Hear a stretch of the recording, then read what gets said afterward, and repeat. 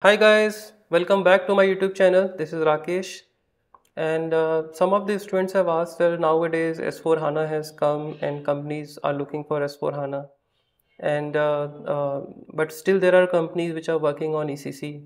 So in interview what should I expect? Should I uh, prepare for ECC or should I prepare for S4 HANA?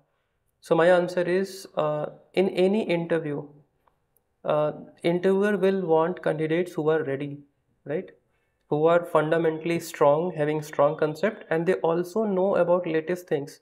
It doesn't matter whether they are giving you ecc project. Even if you are being assigned to ecc project they will expect you to have hana knowledge right? So prepare for s4 hana learn about the changes also. But for that you need to have good understanding of existing one the ecc one and then go for learning what has changed in s4 hana because every interviewer is going to ask you can you tell me the uh, delta changes which has happened between ECC and S4 HANA? In S4 HANA asset accounting, what is new, right? Do you know about uh, business process concept, uh, business partner concept?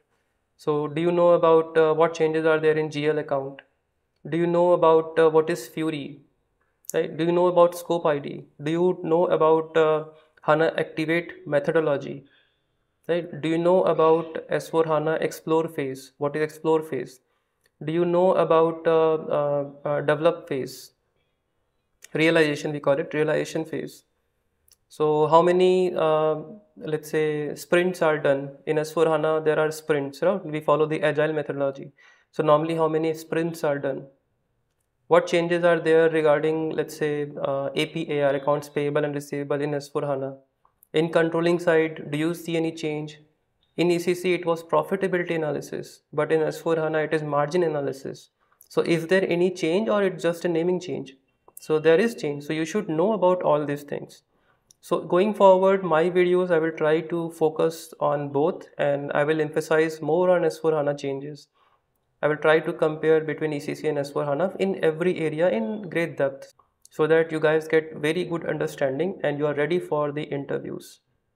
So stay tuned. And if any of your friends who are preparing for uh, FICO interviews and they want to make career in SAP, please uh, send them this YouTube channel link, ask them to subscribe. It is going to help them definitely. And they will be in a better position to answer things in interview. Thank you so much.